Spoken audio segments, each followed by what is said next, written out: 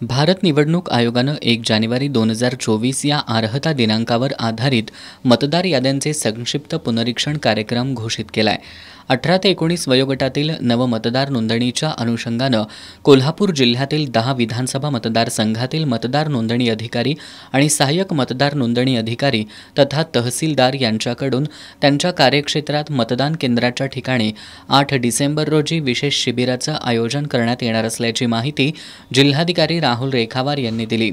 या शिबिरामध्ये अठरा ते एकोणीस वयोगटातील नवमतदारांनी मोठ्या प्रमाणावर सहभागी होऊन उत्स्फूर्त सहभाग नोंदवावा असं आवाहन जिल्हाधिकारी राहुल रेखावार यांनी केलंय.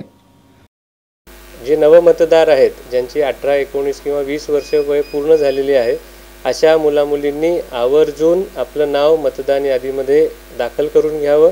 त्यासाठीची ऑनलाईन प्रक्रियासुद्धा आहे ज्याच्याद्वारे तुम्ही हे नाव नोंदणी करू शकता.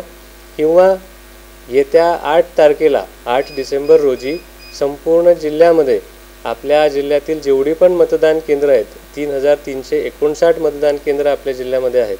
या सर्व केंद्रांवर त्या केंद्रातील बी एल ओ दिवसभर खास आपल्यासाठी बसून राहतील.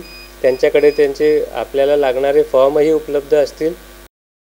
तहसीलदारांकडून कार्यक्षेत्रातील ग्रामपंचायत नगरपालिका आणि महानगरपालिका यांच्याकडून जन्मनोंद रजिस्टरमधील नोंदीचा आढावा घेऊन त्यामधील जानेवारी दोन हजार तीन ते एकतीस डिसेंबर दोन हजार पाच या कालावधीतील जन्मलेल्यांची यादी तसंच सर्व शाळांमधून दोन हजार एकोणीस सन दोन हजार वीस आणि दोन हजार एकवीसमध्ये इयत्ता दहावीची परीक्षा दिलेल्या विद्यार्थ्यांची यादी प्राप्त करून घेण्यात येणार असल्याचं जिल्हाधिकाऱ्यांनी सांगितलं.